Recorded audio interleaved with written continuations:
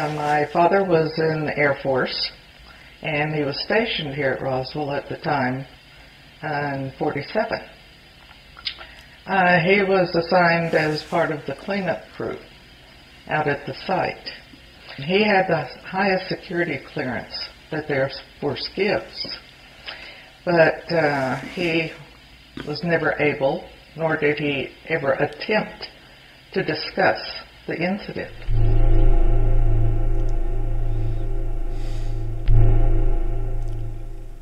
He passed away in 1988. He had uh, his last tour of duty was in Vietnam, where he acquired Agent Orange. Ended up with uh, cancer of the spine. He did not want to die at home. And as he was laying on the gurney waiting to be loaded into the ambulance, he told me, he said, baby, he said, the story is true. He said, don't let anybody try to tell you any different. He said, the incident happened. There was a spacecraft. And I kissed him, and that's the last I got to talk to my dad.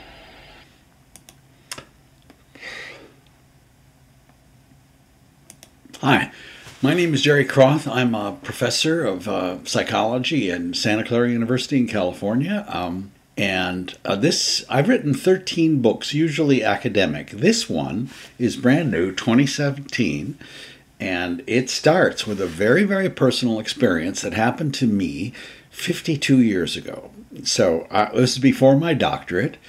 I, um, I'm teaching the fifth grade, and a little girl comes up to me with a piece of material about five inches square, and she says, My daddy says I should show this to you.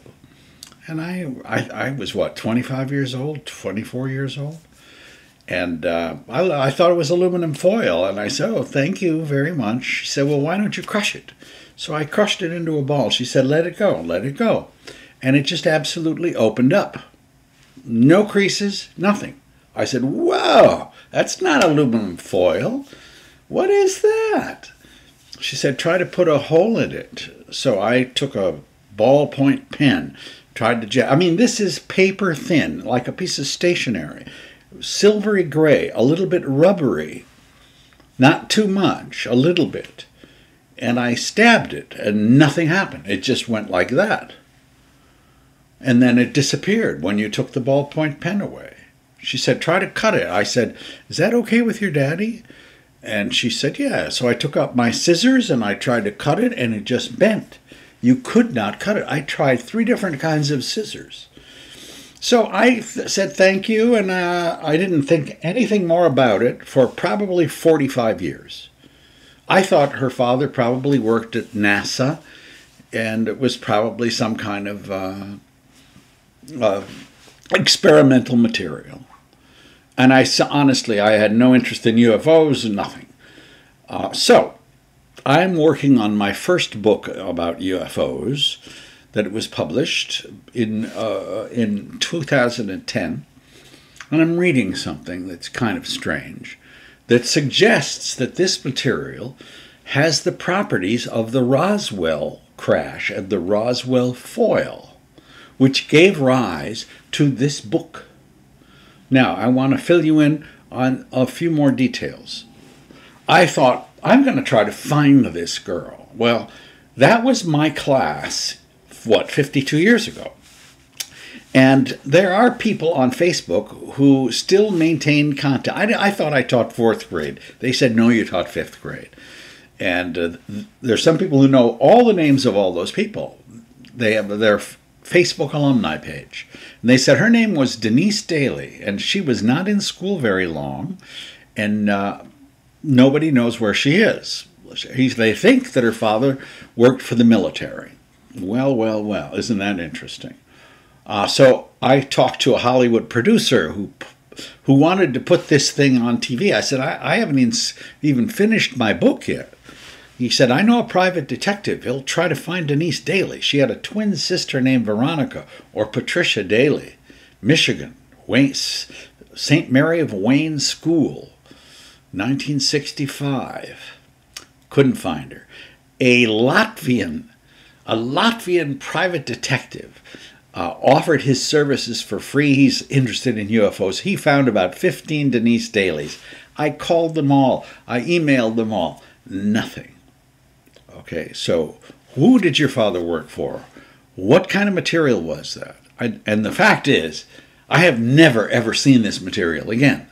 So I started researching it, and I need to tell you that I decided let's be scientific. I uh, I teach research methods at my university, and so I'm very familiar with good research and bad. So I sent out queries to professors of material science, physicists, chemists, and I said, What was I holding in 1965? And I didn't say anything about Roswell. 50% of them wrote back and said, I have no idea. 16% said, We think it's nitinol, a combination of uh, titanium and nickel material. Others said it was mylar. A senior scientist from DuPont said it was hytrel, Kapton, Kevlar. I bought all that stuff. I have a piece of Kevlar here, but I, I guess I don't have it with me. I bought all these things. I uh, looked at them all, and I'm afraid to say none of them have these properties. Mylar creases. This material did not crease, it would refuse to crease. Same with Kevlar, it's too thick. Nitinol is too brittle. Kapton doesn't make it. Hytrel doesn't make it. Nothing that I bought, tried, comes close to this. And the fact is, I have never seen it in 51 years. Why? It would be so great as a shirt. It would be so great as a raincoat or a roof covering or to coat a car with it. It would never scratch. I have never seen this material again in my life and that's 52 years, half century. So here's where this all starts. I was reading my book in 2008, and I'm reading this crazy man named Philip Corso. He's 80 years old, writing a book called The Day After Roswell. And he's saying he was there, and the crash happened, and there were aliens, three, and one of them crawled out and they shot it. And uh, and they did autopsies on the bodies. They had four fingers and no genitals and large heads and white lymphatic fluid instead of blood. And I thought, why are you reading this junk? This is just junk, pseudoscientific nonsense. And then I read a paragraph. And this is the origin of this book that I wrote. This is the paragraph that I read in 2008 one of the materials he's talking about at the Roswell crash site, one of the materials discovered was a dull gray metallic cloth like material that seemed to shine up from the sand. The officer at the wreckage stuffed it into his fist and rolled it into a ball. Then he released it, and the metallic fabric snapped back into shape without any creases or folds. When I tried to cut it with scissors, the arms just slid off without making even a nick in the fiber. When I tried to stretch it, it bounced back. I said, Oh my God, I had that material in my hands in 1965, and I have never seen it again. That's the origin of this book and of this video. So let's talk a little more about Roswell, because in my research, uh, I discovered there were 37 people who experienced this foil. There were about 10 pieces of this material uh, that were found, and most were turned over to the Air Force, but a couple slipped by. So here's what these people say way back in 1947. It could not be torn or cut at all, extremely lightweight, about four or five inches square. Well, that's what I had a sort of aluminum like foil. Most of it was kind of double sided material, foil like on one side and rubber like on the other. Both sides were grayish, silver in color, the foil more silvery than rubber. The foil rubber material could not be torn. Well, that's what I had. You could take that stuff and wad it up and it would straighten itself out. That person, in 47, signed an affidavit in 1998. Perhaps Aluminized cloth, another said. Well, that sounds right to me too. It was interesting. I did get to handle the material. He's an actual witness. And the material had some peculiar properties. For instance, it looked like Hershey bar wrappings, and, but you squeeze it up in your hand as hard as you could, let go, and it returned originally to the original shape instantly. That's called shape memory, by the way. Then the next day, Jesse brought some of the stuff into the intelligence office. And uh, so we looked at it and played with it a while, and then everybody went back to work. Later that day, boom, nobody knows anything. You just shut up. Nothing happened, uh, etc. And when you're in the service, you do what they say to do. So, um, this book then uh, takes on a much larger character. I start with the foil, but then I start talking about what if all this happened. So, if you haven't heard about the Roswell episode, 1947, uh, a cra- uh, there are UFOs flying around the Roswell base. It's the only atomic nuclear base in the world. That's where the Enola Gay was stationed, the one that dropped the bomb on Hiroshima. UFOs are flying around. One gets hit by lightning and crashes. So uh, that's the story, which was followed by denials. But there was a press release that said flying saucer crashed. And then, of course, they retracted it the next day. So there are many, many witnesses. I think I have a total in my book of 78 witnesses that say the Roswell crash actually did happen. I think it's the largest uh, aggregation of witnesses of any text that I've ever re- read. And uh, luckily, I wrote this one. Here are a few people who talk about that field. And this uh, gentleman called and said he was a mortuary officer at the base. He needed some information. And I said, What do you need? And he said, uh, How many uh, hermetically sealed infant caskets do you have? Three and a half, four foot in stock? And I said, We don't have any. How long would it take you to get them? And I said, Well, I can call Amarillo by 3:30 this afternoon and have them in here in the morning. I said, What's going on? He said, That's not important. I said, Well, it is important also, but anyway. Called back later and he said, uh, I need more information.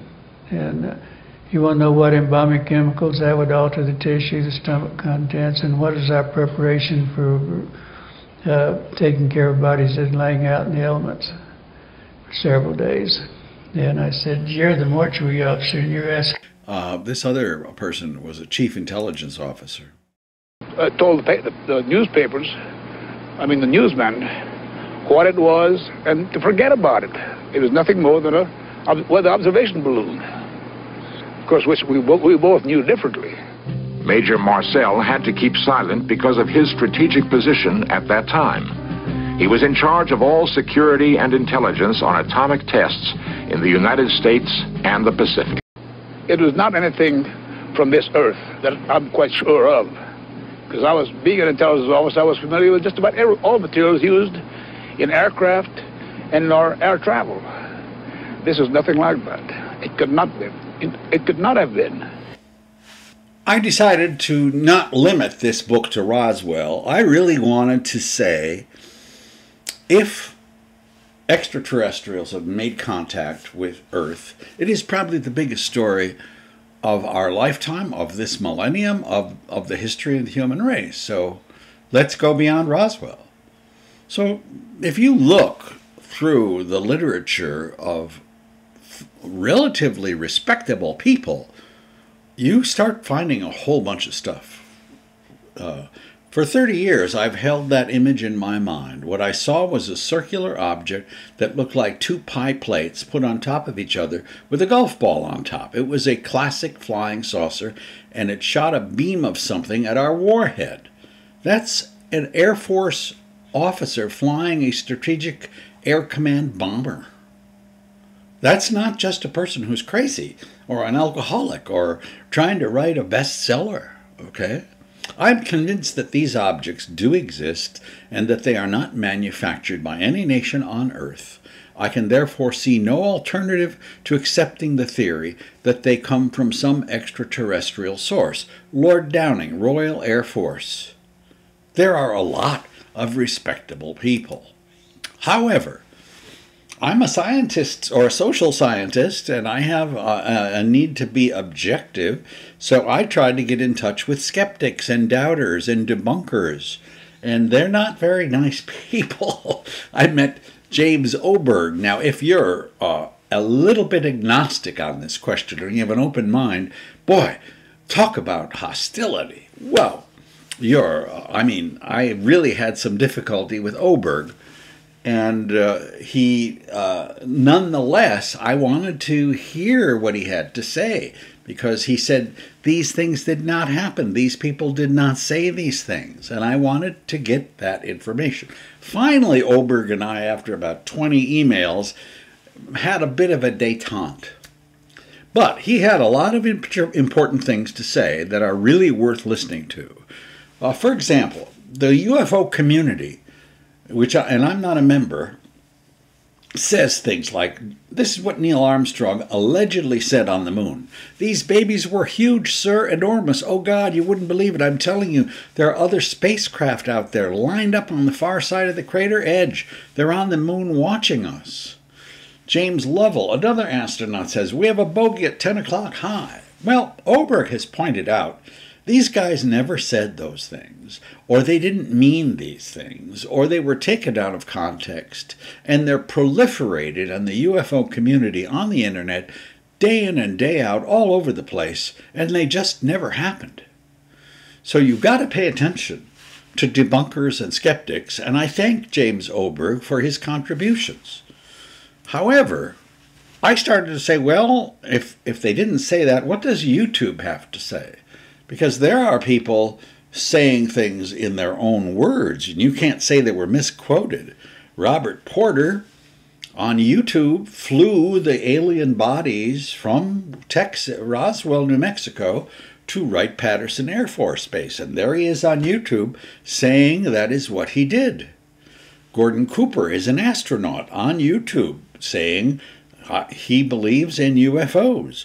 Russian cosmonaut to the left, Russian cosmonaut to the lower right, YouTube saying they encountered UFOs in their own words. So, in doing my research, the witness testimony is piling up, and these are not just crazy people out in the street. These are generals and admirals and submarine commanders and astronauts and cosmonauts. There's a pilot. Passenger. I don't know. I really don't you, know. you weren't the only person who saw No, this phenomenon, that's were- right. were you? There, No. there, there were some passengers who saw it, and Yeah. also another pilot. Yes. simultaneously. Well, look, let's, we've got an artist's impression that we knocked up here this afternoon on our, our computer paint box. Um, is that kind of what you saw? Is that a Uh, reasonable... No. oh, well, we, the best we did. Oh, be you, honest, yeah. You, well, hold that picture. Well, you, pretty you, you describe it to It- us. well, it was a, a brilliant uh, yellow object. The, the brightness you've got there, about two thirds from left to right, um, yeah, but it was a graphite grey uh, section. If you want to call it a fuselage, we don't know yet what it was. Uh, we're looking into it. and how big was it? Uh, it's difficult to say once again, but I saw it from 50 miles away. So um, any object from 50 miles away must have been fairly enormous. What, what, about a mile long? It's possible. Yeah. Did it move at all? It probably didn't move, but uh, there, I had uh, the great opportunity the other day from Jersey Air Traffic Control, uh, visiting their radar uh, room, and uh, some interesting um, traces, let's put it that way, from from the radar uh, Really? indicate that there's a possibility that they did pick up on from both Guernsey and Jersey radar uh, traces, uh, spurious traces they call, um, for around about 55 minutes. How long Uh, did you see it for? I saw it in total for 12 minutes. Okay, so uh, uh, as we start looking at expert testimony and insider testimony, uh, it just starts building and building and building and building. Barry Goldwater was a conservative sen- senator. He was also a pilot and a major general in the Air Force Reserve, and he knew all the Joint Chiefs of Staff. He knew all the top people in the Pentagon. He appropriated money for them, and he believed in UFOs. Here's an interview what he about what he said about Roswell.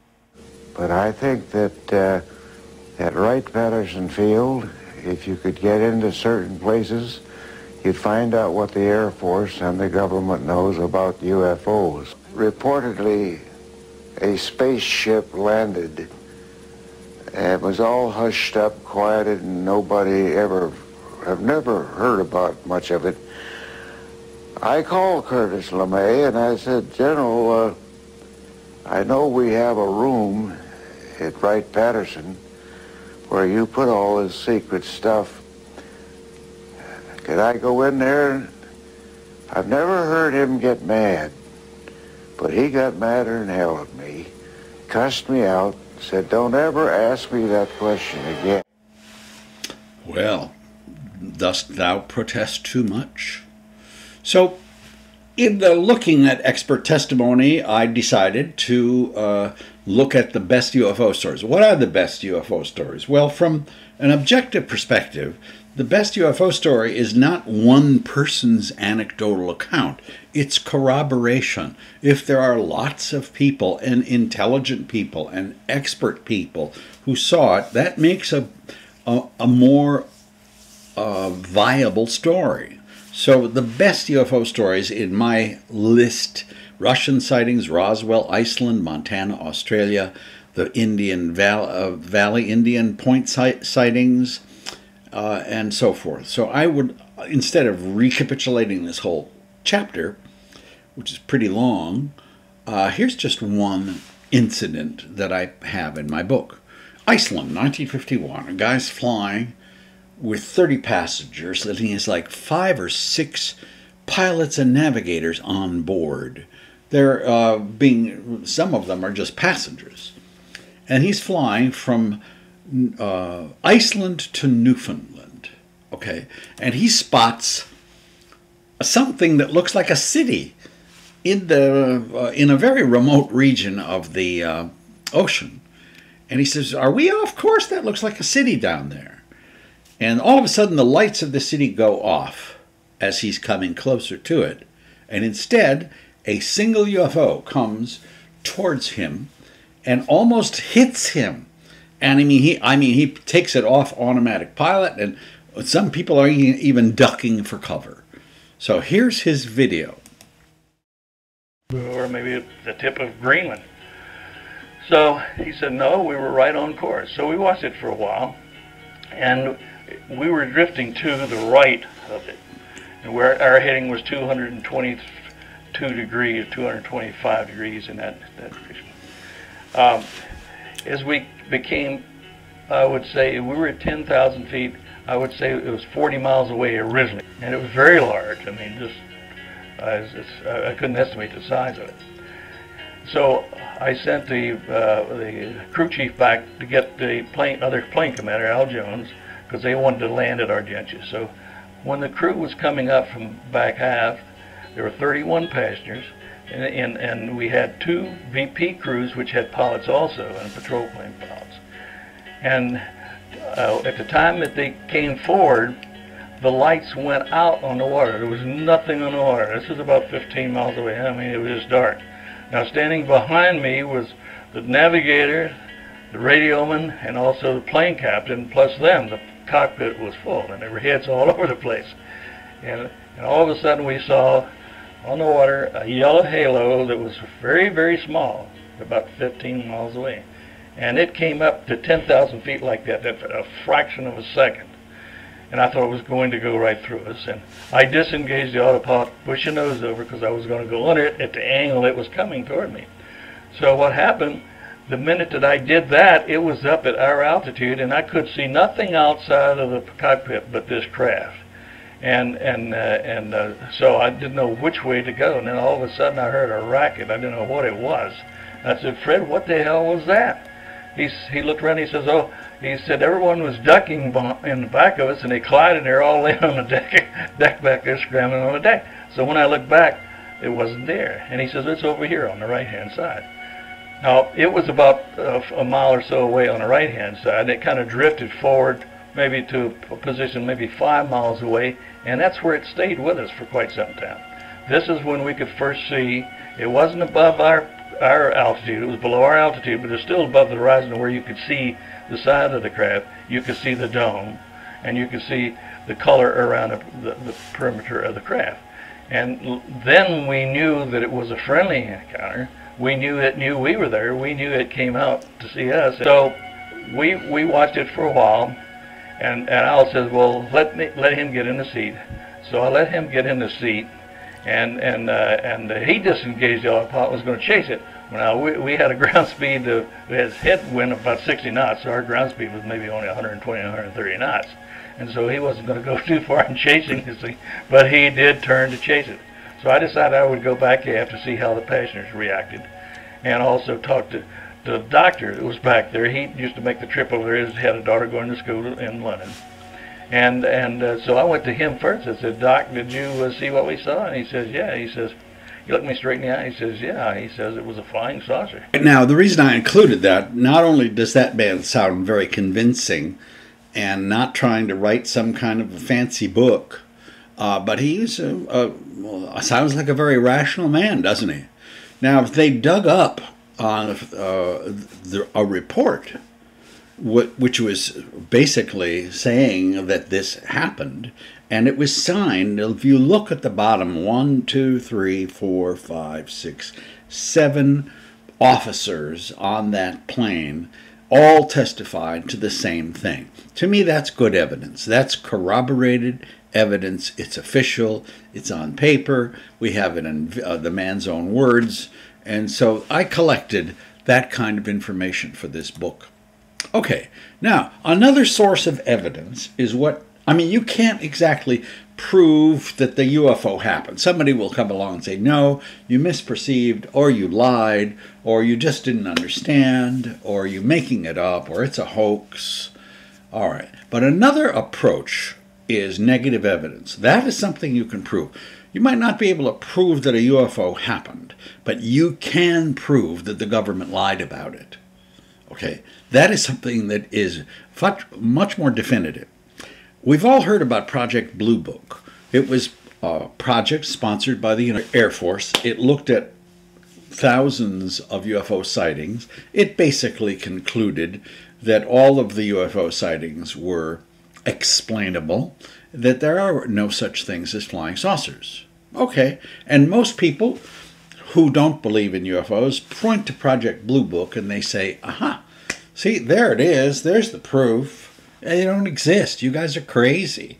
Well, the head scientist at Project Blue Book was named Robert uh, Allen Hynek. He was on that project for 20 years. After the Blue Book was published, he had a, an attack of conscience, and he said, uh, "Folks, fraud. It was a scientific pretense." And the whole effort of Project Blue Book was to debunk everything. That was its intent. That was what I was doing. And he it's it's almost like he begged for forgiveness. He became a UFO advocate a few years after Project Blue Book. There were a lot of other projects we'd never heard of. Project Garnet, Gleam, Magnet, Moondust, Pounce, Signs, Sunstreak, Bear, Aquarius. This thing did not go away. It's just that that was the publicity. Another piece of negative evidence, which is just absolutely stunning, stunning. Uh, there was in Bentwaters, England, we uh, there was a nuclear air force base, the largest nuclear air force base in Europe, still is. And in the 1980s, the uh, there was a UFO sighted over a few days near this uh, base.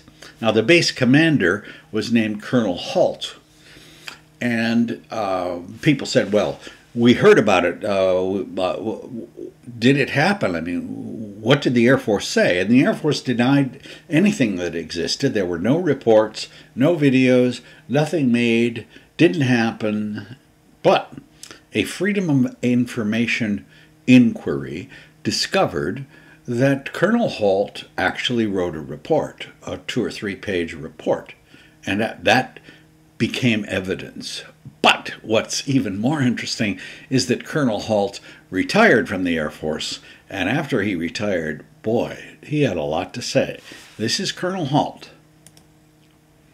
Good afternoon. My name is Charles I. Halt. I retired from the U.S. Air Force in 1991 as a colonel. During my military career, I was base commander of two large installations, and at the time of my retirement, I was as a deputy base commander. In December 1980, in the, early in the morning, several of our security policemen discovered strange lights in the forest in East Anglia, just outside the back, and approached the craft. They reported it being triangular, approximately three meters on a side, dark metallic in appearance with strange markings. They observed it for a period of time, and it very quickly and silently vanished at high speed. Initially, I was not aware of all the details. I was only told of strange lights, and I was sure there was a logical explanation. Two nights later, at the family Christmas party, we were interrupted. The on-duty flight commander for the security police squadron, Lieutenant Bruce England, came and approached the base commander and I. He was white as a sheet. He said, it's back. He said, what's back? He said, the UFO. I took several security policemen with me, a disaster preparedness NCO who took an APN-27, a Geiger counter, and a camera. I also had my small cassette recorder I carried everywhere when I was on duty. Uh, I was taken to the supposed site. We found indentations approximately an inch and a half deep, approximately six to eight feet on a side, and radiation of eight to nine times normal background radiation. Not enough to be dangerous to somebody, but significant. We also found broken branches on the trees. While we were milling around trying to make sense of the whole thing, one of the individuals with me suddenly spotted something. Off through the forest was a bright, glowing object. The best way I can describe it, it looked like an eye. It was bright red with a dark center. It appeared to be winking. It would sort of wink. It was shedding something like molten metal. It was dripping off it. It silently moved through the trees, avoiding any contact. It bobbed up and down, and at one point it actually approached us. We tried to get closer. It receded out into the field, beyond the forest, and silently exploded into five white objects. Gone. So we went out into the field looking for any evidence because something had apparently been falling off it. We, we found nothing. But while we were searching around in the field, one of the people with me noticed some objects in the sky to the north. There were three or four objects in the north, brightly colored, changing from elliptical to round and moving at very high speed and sharp angular movements as though they were doing a grid search. While we were watching them, somebody else noticed to the south there were two objects just sort of hovering in the sky.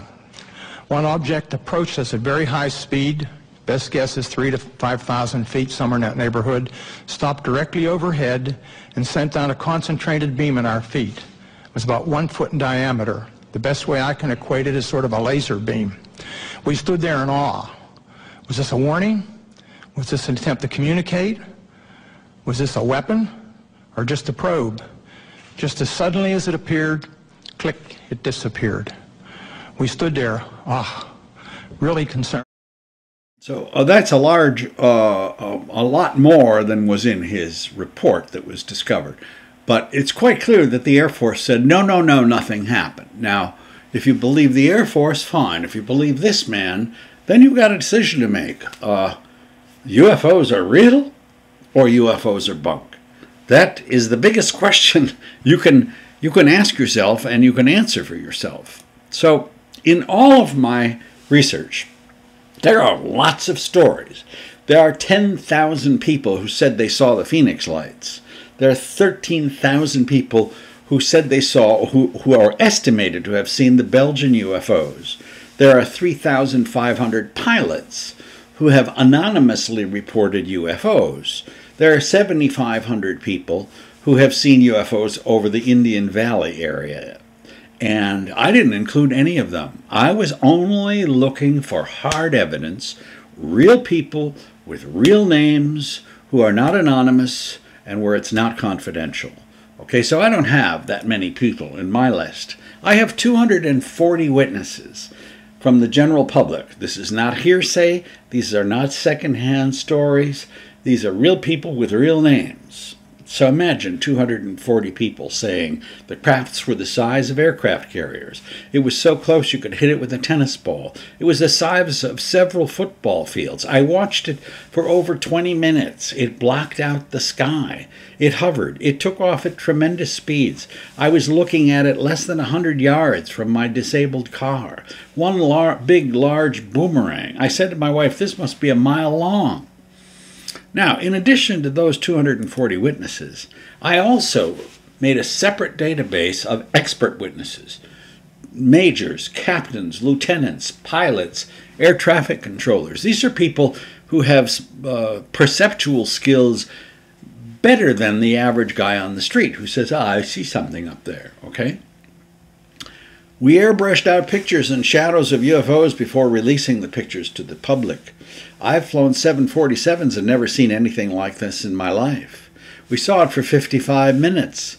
The thing was as large as an aircraft carrier. We tracked it on radar and had it targeted when it flew to 10,000 feet and then back down to 500 within seconds. Possibly the length of two aircraft carriers and the width of one. I saw the bodies at Wright Patterson. It was bigger than anything I've ever seen. In your gut, you could just tell it was otherworldly.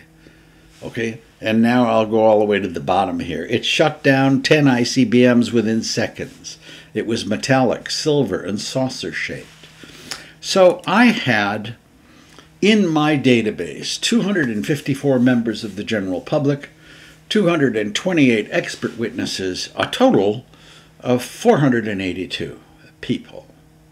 And I didn't cover all of them, but I covered the most highly corroborated incidents. By the way, 92 of these testimonials are in their own words on YouTube. Okay, so here's the guided fantasy. Do you remember Watergate? It was a hearing, it had 60 witnesses, they were called, and it resulted either in the impeachment of the first uh, the president of the United States or his resignation. Richard Nixon was the first president of the United States ever to resign, and it came out of the Watergate hearings. Now, just imagine that we have fair hearings, congressional hearings, where we call in 482 witnesses. That's what, eight times more than you saw in Watergate. And we allow their, uh, their deceased, many of them, we allow their relatives to read their affidavits, which they signed before they died. And the testimony is given. Okay? 482 witnesses called. Now just imagine, no redacted documents what, whatsoever. What do you think the conclusion? I believe the conclusion of that congressional investigation would be a foregone conclusion. And I believe this is what the conclusion would be. It is the conclusion of this committee, even if even if debunkers were invited and said, no, it's a hoax, no, it was ball lightning, no, it was swamp gas, no, they're misperceiving, no, it was a hoax. I believe that the result of this hearing, this hypothetical hearing, would be this. It is the conclusion of this committee that extraterrestrial visitations of Earth have occurred, and our planet has and continues to be visited by what appears to be a benevolent alien civilization. If you can imagine that, that would be the biggest news of your lifetime, my lifetime, and uh, and of the last few millennia in in uh, the history of our species, of civilized man. All right, now I'm going to conclude this section. Most UFO books end at this point, not mine. This is just part one. Here are just a couple UFO videos. I don't know if they're authentic or not. It's impossible to tell. But just to to, uh, to give you a little shot at what UFO videos might look like, here are a couple. I've had a couple people who are very skeptical say, I, I think these could be real.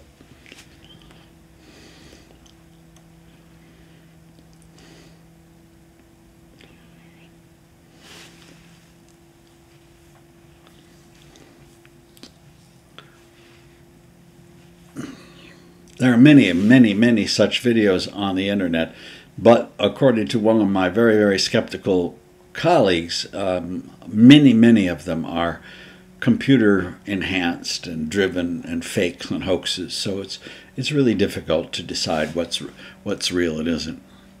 So, part 2 of this book is what happens to the world if you accept that extraterrestrials have visited. What happens to mythology, history, ancient history, archaeology, biology, and science in general? How does it change our life if we realize that many of the stories that we considered fables and fantasies might have actually happened. So in, let's go to mythology first. Now, uh, we're looking at the part of our cognitive world that is going to be shattered and changed by this realization.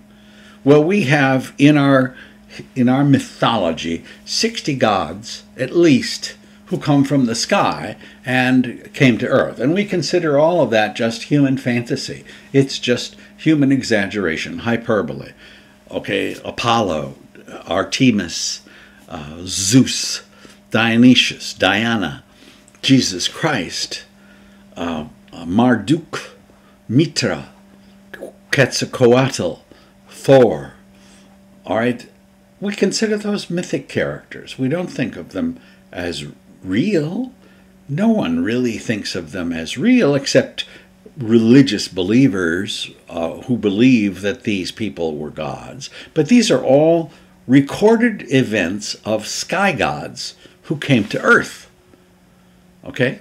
Does that, if we accept the fact that extraterrestrials have visited, does that change our understanding of mythology? Here's stories from the Bible they're basically, by scientific, rational people, they're considered fantasies. And, and when he had spoken these things while they beheld, he was taken up, and a cloud received them out of their sight. Hmm. And it came to pass when the Lord would take up Elijah into heaven by a whirlwind that Elijah went with Elisha from Gilgal. Well, do you start thinking that these things might have actually happened, and that's way the way they talked about it 2500 years ago Ezekiel's wheel. It's in the Old Testament. When the living creatures moved the wheels beside them moved. And when the living creatures rose from the ground the wheels also rose. Wherever the spirit would go they would go and the wheels would rise along with them because the spirit of the living creatures was in the wheels. When the creatures moved, I heard the sound of their wings, like the roar of the Almighty, like the tumult of an army. So again, we start thinking, my God, what if that actually did happen? There are, in, in my review of the literature, there are 23 sky gods across the world, uh, the, uh, across ancient literature, who uh, helped human beings, taught them. They were tutors. Uh, they taught us the bow, bow, and arrow. They told us how to grow maize. Uh, they taught us navigation, cosmology, geometry, astronomy, how, uh, how to develop a magnetic compass. They uh, influenced our written languages. Uh, they taught the Sumerians uh, about smelting and agriculture. The, that, that's a cross cultural theme. Tutors from heaven. Now, here is a psycholo- I'm a psychologist, and I just like to make this point. Okay, think about this as a template for understanding all this. In 1942 or so, a man named John, who said he was from, I think, California or someplace, uh, was flying a Cessna over the Caroline Islands in the South Pacific, and they had never seen an airplane. And he landed his plane and brought what they called cargo an Agatha Christie novel, I guess some candy bars, and they called him John Frum. Now, they have deified John Frum. He was from California, but they call him John Frum. And every year, they have taken this guy who was like to them a sky god, who came from space, who had uh, incredible technology. They make their own replica of his aircraft. They create a runway and they celebrate John Frum Day. I think it's February 13th.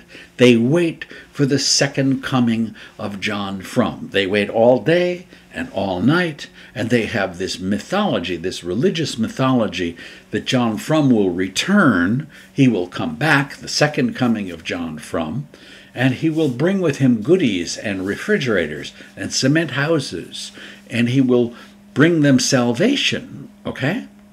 So we think, oh, that's superstitious thinking, that's primitive thinking.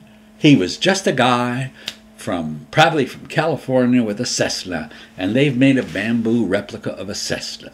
But the question about the the cargo cult of the Caroline Islands is this: Is this the template here? The psychological template is when you meet a creature that comes with incredible technology from from space, from the sky, there's a tendency to deify that person, to turn them into gods, and to uh, imagine their return, their second coming.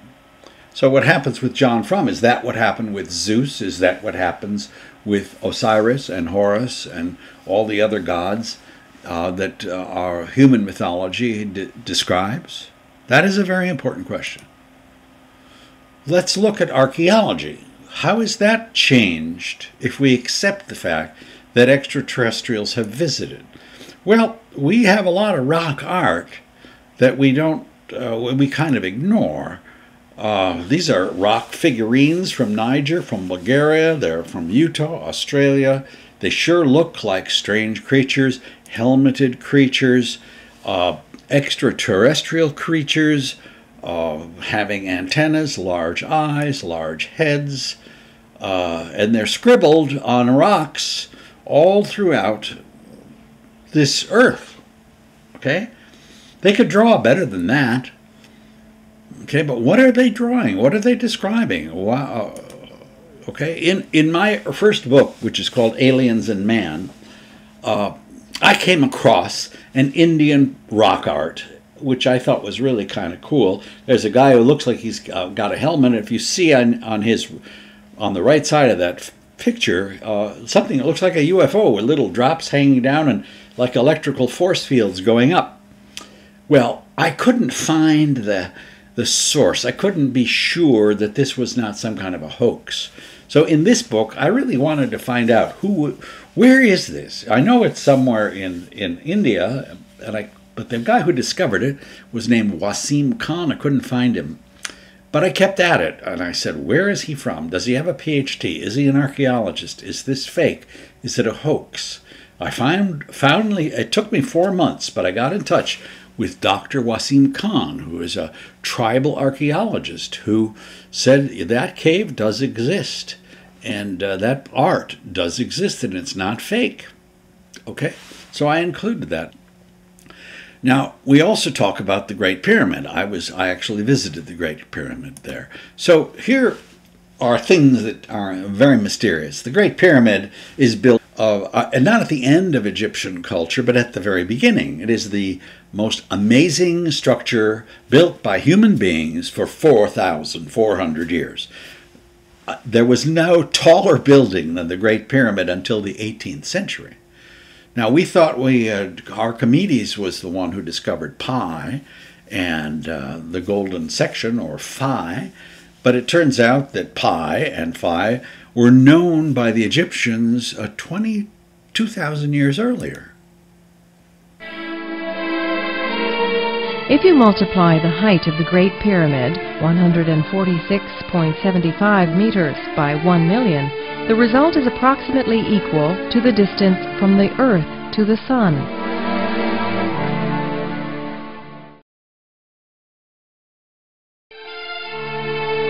The weight of the Great Pyramid, 5,273,000 tons, multiplied by a billion, equals the weight of the Earth.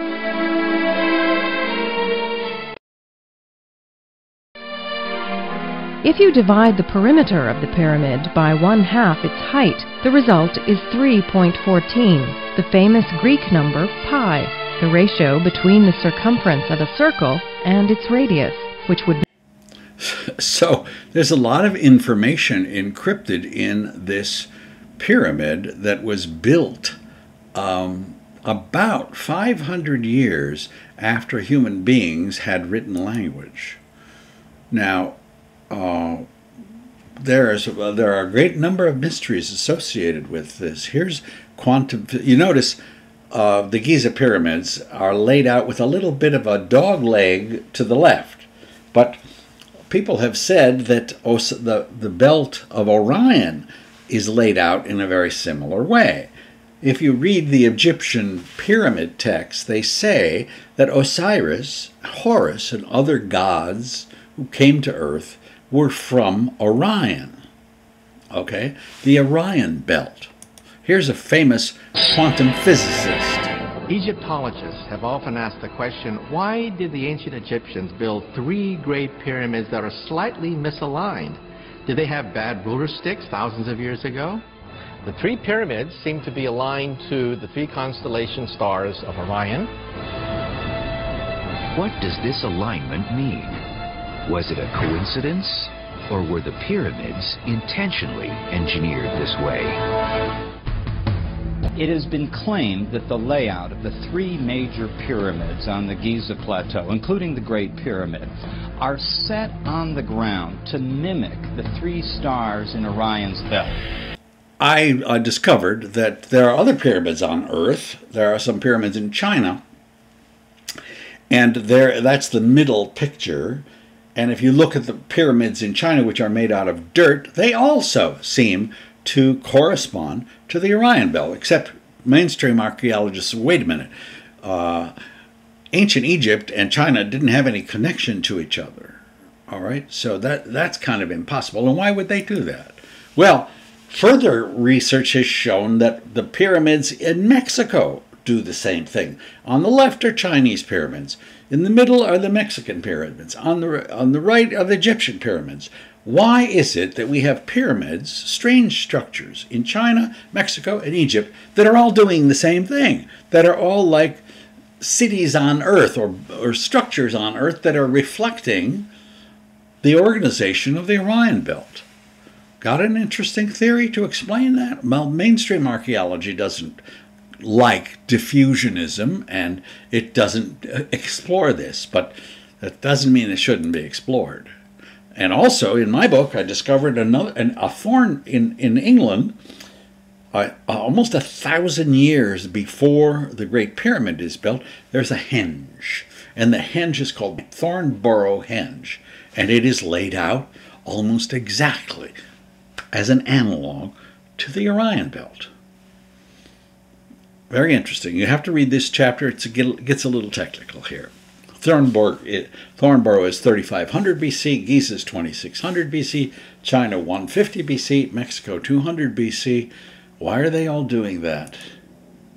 So the next chapter looks at a very controversial idea biological implications. Is it possible that our biology has been influenced by extraterrestrial contact? Well, that is not a popular topic in the academic world. Okay, but I, want to explore it. I'll tell you why. For, about wait, before I tell you why, I'm a psychologist. Carl Jung uh, uh, was a, a, very famous psychiatrist. He was like uh, associated with Freud. He looked at dreams and myths differently than Freud did. He said sometimes you'll have a dream. It's not hidden, it's not hiding the meaning. Just look at the dream and find out what it's telling you. Or with a myth. So take a look at this picture and tell me what is it that you're looking at. This is the nativity scene. About 33% of all human beings on earth are Christian, one denomination or the other, and they pay attention to this idea, this image, on December 25th every year for 2,000 years. What are you looking at?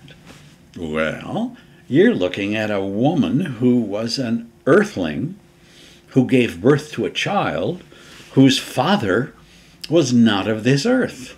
He was a divine being, the divine father, a sky god. Okay? You're looking at a hybrid, a half human, half heavenly, extraterrestrial creature whose name is Jesus.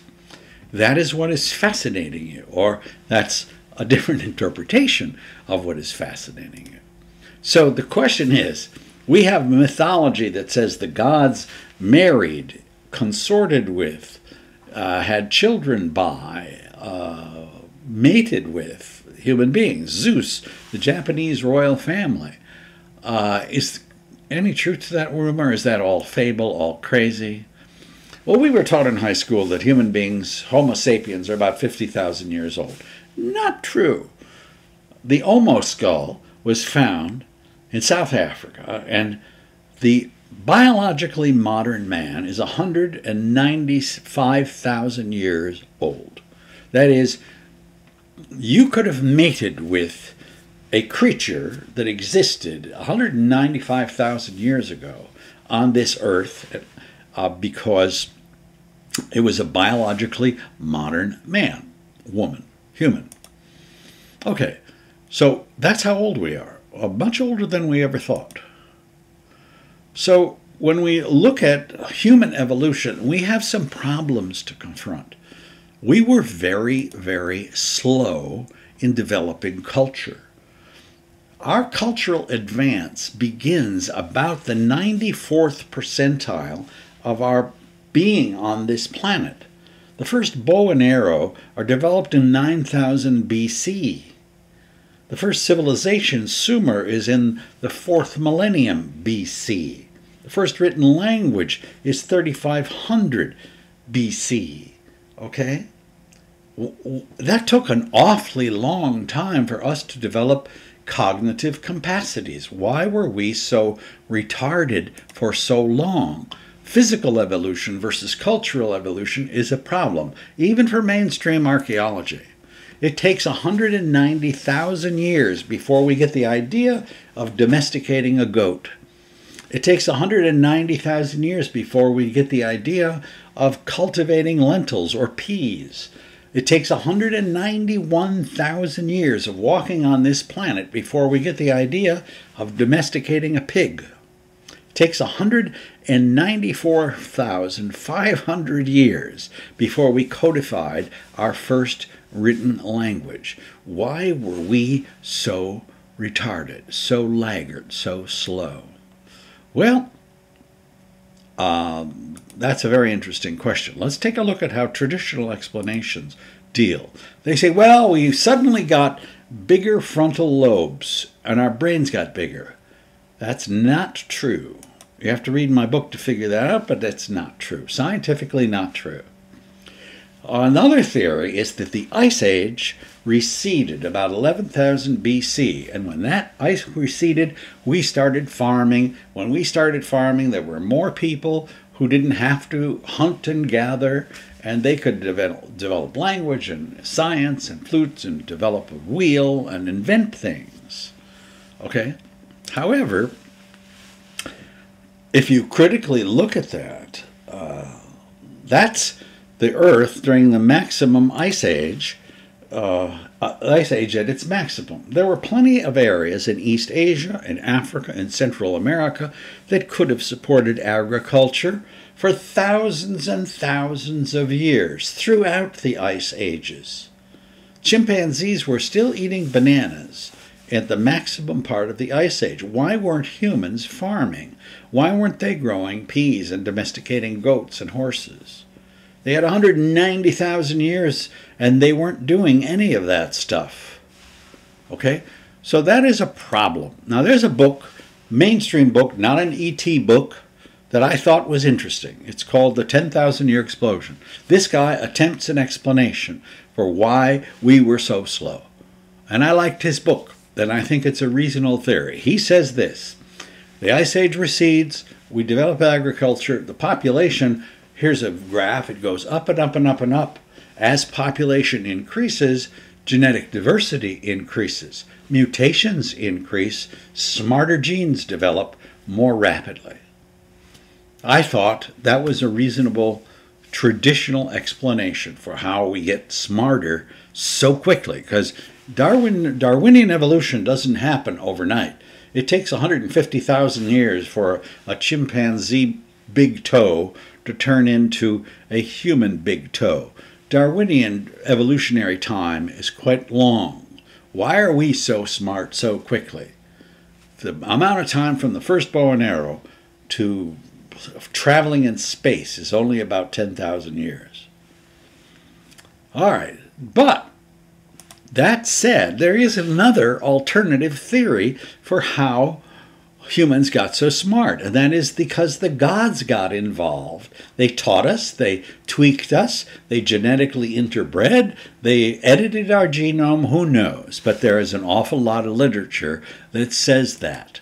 Okay, the Book of Enoch, the Egyptian pyramid texts, all of these books talk about how the gods were involved in the development of human culture and learning and language uh, the Mayan Popol Vuh, the Greek Hesiod's Theogony, uh, the, the god Zeus mating with the mortals, Persia, the Shahnameh, China, uh, Sumerian, the Epic of Gilgamesh, India, the Rig Veda, uh, Babylonia, Enuma Elish, the Ethiopian Kebra Nagast. Those are all ancient books that are saying one and only one thing. The gods interacted with our species and made us the way we are. Now, there, I wanted to pursue this, and I, there is a creature called Mungo Man found in Australia. This is the oldest fossil that has retrievable human DNA. It's first thought to be 60,000 years old, now it's 42,000. Okay, this is the oldest biologically modern man where we can look and see the DNA. And guess what? It's not what we expected. It's not like our own. So some people argue, well, maybe it was a different species of human, of Homo sapien. Okay. All right, but uh, our, it appears that our DNA has changed since Mungo Man. That's the point. So what where do we get these new genes that make us so smart? The mainstream hypothesis is in that book, The 10,000 Year Explosion. Mutations caused by rapidly increasing population, which in turn is caused by agriculture. But the other hypothesis is the mythological extraterrestrial hypothesis that says the gods came, interbred, taught us, changed us, and altered our, our biological composition. Okay. Now, but there was one last chapter of this book on crop circles. Is it possible that the gods have been trying to communicate with us and we're, not, we're ignoring it? I mean, we see these strange things in our fields, and we the majority of Americans say, no, no, those were made by people. They're all man made. They are really, really cool, though. Really, really intricate. Very hard to do in wheat. How do they do them? What is involved? Uh, and I wanted to explore, as one of the most speculative chapters in my book, what if these aren't man made? What if these, we need to look at these as very abstract communications coming from someplace else? Here is a, a, a YouTube video where the UFO people say crop circles are not all made by man. Some of them are made by balls of light that come from space. This could be a hoaxed video, it could be the truth. Watch it very carefully. Nine. There's a couple of lights down there somewhere. This controversial film appears to show strange objects hovering above a cornfield. Below, complex circle formations appear. Retired are, are aliens etch a sketching uh, uh, in our farm fields and uh, sending us messages? Well, I decided to, uh, at a couple crop circles, and, and consult with scientists if I could find them and help me de- decode them. Like, take a look. I'm just going to do one here. There's a crop circle, very pretty. It's about 180 feet long, huge. I have no idea what it means, except that uh, if you count the rings, there are two uh, rings in the inner circle and three rings in the outer circle. And you say, my God, how would I ever decode this? Well, I'm a realist, so I noticed that that crop circle is standing or lying right next to an open pit chalk mine. Who would make a crop circle near an open pit chalk mine in England? Why? What's it supposed to mean? Maybe it has something to do with chalk. So I thought, what is chalk? Chalk is calcium carbonate. Okay, well, let's take a look. Calcium carbonate has three oxygen atoms, and the outer circle has three white I'm sorry, three white rings. So, oh, maybe it's talking. And, and what's the other circle? The inner circle has two rings. And I thought, well, what has two rings? Water has two white rings.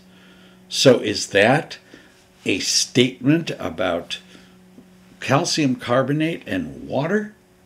Well, it could be a number of things. It could be just a pretty piece of jewelry. Uh, you know, I don't know. But uh, talk to some scientists who are experts on calcium carbonate. And uh, if you say crop circles, they won't talk to you. But if you say, I'm interested in calcium carbonate, how is it made up? Somebody would say, yeah, calcium carbonate is the ingredient in cement. Mix it with water and uh, other things, and you create cement. Cement industry is one of the primary producers of carbon dioxide. In fact, it is one of the two largest producers of carbon dioxide, creating up to 5% of worldwide man-made emissions of this gas. As one writer put it, a single industry accounts for 5% of global carbon dioxide emissions. Huh. So, are they putting a crop circle near a chalk mine to say cement is bad for the environment? Here's a graph of global cement production. It's not slowing down at all. This industry is uh, probably one of the greatest contributors uh, to towards global warming, and it, or certainly a serious one. So, does that crop circle have something to say about cement and global warming? That's the question. And was it made by man or was it made by ET? Okay, now I told you this was speculative, but if if this was made by environmental activists who are concerned about global warming and cement, wouldn't they write in English, stop cement production now? Why would they leave a, an abstract figure like that? Wouldn't they just say it in English? Stop cement production. And that's a cement, a, a chalk mine. And if if uh, if you really wanted to do it, if you were Chinese, they're the largest producers of cement. Well, you could write that in Chinese. Stop cement production now. Except that's probably harder to do in wheat. So, if that circle has something to do with cement production and global warming and CO2, I don't think it was made by human beings who are concerned about the environment. Do you? Maybe it was made by somebody else who's concerned about the environment. Now, I have a very unexpected conclusion to this whole book and this whole talk. Okay, so get ready. This is a strange ending to this talk. And I, I wrote to hundreds of scientists, academicians to get feedback on this book. First of all, probably, for, I, I made this tally myself. About 14 out of every 15 professors that I wrote, who I, who I emailed, refused any further contact with me as soon as they learned I was asking about Roswell or about UFOs or about the Roswell foil or about crop circles. As soon as they heard that, they just broke off all contact. This is a very forbidden topic. So I learned my lesson and I said, okay, I need to, there is a crop, a crop circle, but I used it as a diagram. And it has a sequence of 11 to 12 circles on the inside 14 and 18 circles on the outside with little two dots next to every one. And I asked a mathematician, what is this? What is the mathematics here? And he said, my God, that is fascinating. He said 11, 12, 14, 18 is an integer sequence that may go out to infinity, up, or may go to infinity down. It has something to do with prime numbers and the power of 2. And I said, I don't really understand you. Uh, could you try to explain that to me in more common language? He said, Well, I, uh, I will, but I want to know where did you get this? And so I thought I would confide in him, and I told him it came from a crop circle. You can see a little person standing in the center of this amazingly complex and beautiful crop circle. I said it came from a crop circle. Guess what he wrote back? He said, Well, that says it all as far as I'm concerned. And that was it. No more communication, no more discussion of integer sequences, the power of two prime numbers, nothing. So that's what happens, and that's part of the conclusion. We have a tremendous level of bias against this hypothesis, especially in the academic world. So the feeling of ridicule, of scorn, and that you are a nutcase involved in nutty things is ever present in this work. This is what Copernicus said. Copernicus. Therefore, when I considered this carefully, the contempt which I had to fear because of the novelty and apparent absurdity of my view nearly induced me to abandon utterly the work that I had begun. That is the feeling that you have when you're serious about this topic. You know your friends think you're crazy you know that there are people who are going to come out of the wood, woodwork and say that's false, that's false, that no matter how much evidence you bring, how many generals you have. So the question we are really asking is do we want the truth or we are are we afraid of the truth? Do we hold on to these delusions because it gives us some comfort? 79% of the American people believe the government is withholding the truth about UFOs. You would think eight out of ten Americans want to know the truth. Is that true? They seem to want to know the truth. The academic world, on the other hand, is absolutely adamant in its opposition. UFOs and all that stuff just doesn't exist. Okay, and stop it. Okay, stop saying the pyramids were built by aliens or influenced by aliens. It's just more pop archaeology, pseudo archaeology. So, my conclusion was from this exercise that our sciences, archaeology, anthropology, evolutionary biology, ancient history, mythology, would be shaken to the core if we accepted this belief. Everything would be up for grabs, everything would change. Professor Allen Hynek said, this is after he recanted I believe that it will prove to be not merely the next small step in the march of science, but a mighty and totally unexpected quantum jump. I agree. This is extremely revolutionary. This thought is bigger than Copernicus. This is the biggest um, admission of the truth in our age.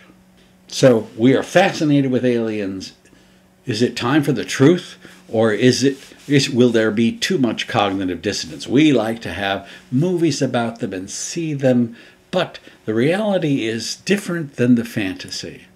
Okay, there's a Brookings report. The government uh, in the 50s asked, obviously for some reason, they asked the Rand Corporation, what would happen if you told the American people that UFOs existed? And the Rand Corporation's Brookings report said uh, it's not a good idea. It would cause considerable cognitive dissonance, particularly in primitive cultures. But we believe that it would be very destabilizing. Okay?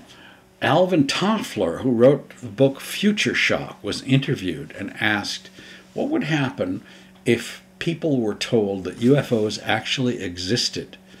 And he said, I think it would be very disturbing. It would be very destabilizing. I do not think we are ready. I think that it would be uh, uh, it, would be quite catastrophic for the psychology of human beings and for for societies, not just America, but for other societies too.